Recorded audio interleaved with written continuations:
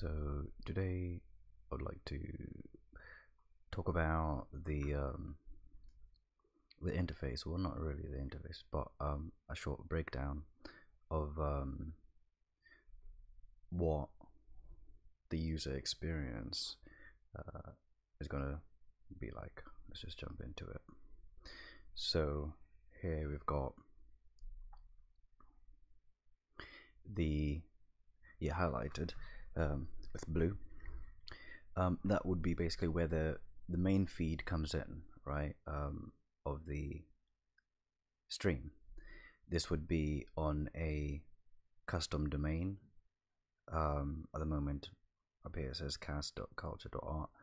That's just a holding um, domain name. It will change. Uh, so basically, yeah, the feed starts from here. It is then propagated or spread um, across uh, live um, to various um, live casting, live casting, stream, streaming uh, platforms uh, like Twitch, Periscope, uh, Facebook Live, IG Live, D Live, etc.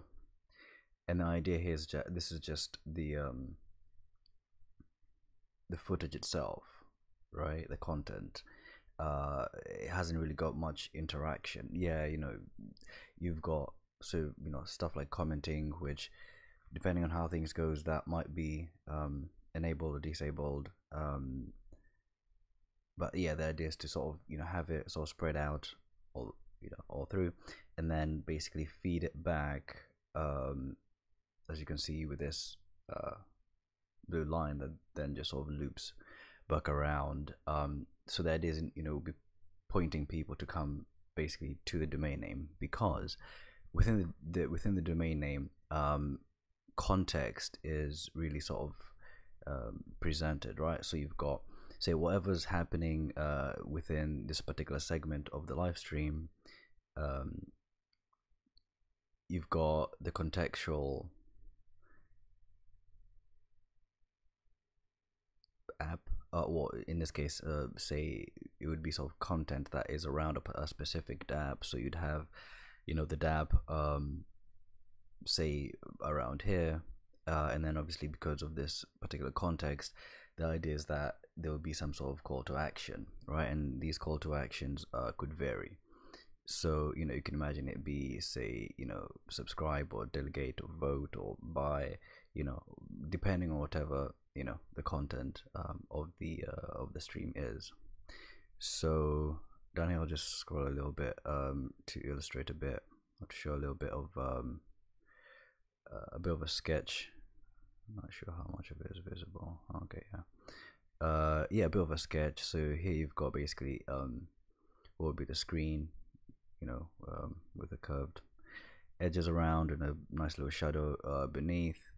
Um, and the idea is that each segment you know ahead of time whether it's a pre-recorded segment or a live segment we'll have an idea of how long it's supposed to be. So with that in mind we can actually create these little timelines at the bottom which actually um, are helpful because when you're watching something live you kind of you want to have a sense of how long this is gonna you know this is gonna be going for. It's just a psychological thing which um, from a user experience standpoint really helps. Um, yeah so on the on the website uh, you know on the landing domain uh, you'd have the video say up here and then you'd have the call to action down here. At the beginning it's just going to be basically subscribe to the the calendar via email um, and yeah so that call to action will be right underneath the um, the uh, the the video viewer. And then down here you'd have basically comments. Uh, at the moment you can see it says slido uh, moving forward we'll probably have all the say the comments coming from all the different streams um, in a way that we can be able to um, get them all um, funneled into here.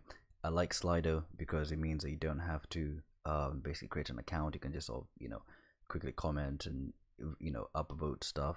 So uh, as a in the meantime uh, sort of quick fix um, that makes sense. Uh, yeah and that's it